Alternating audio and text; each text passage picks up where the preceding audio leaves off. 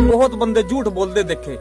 ਔਰਤਾਂ ਜਦ ਆਪਣੇ ਪਤੀ ਕੇ ਲੜਾਂ 20 30 ਗਾਲਾਂ ਦੇ ਕੇ ਉਹਨੂੰ ਲਾਸਟ ਮੈਂ ਨਿਊ ਕਹਾਂਗੀ, ਮੇਰਾ ਮੂੰਹ ਨਾ ਖਲਵਾ ਵਾ ਜੇ ਮੈਂ ਬੋਲਣ ਲੱਗੀ ਨਾ, ਤੇਰੇ ਮੈਂ ਸਾਹ ਨਹੀਂ ਰਹਿਣਾ।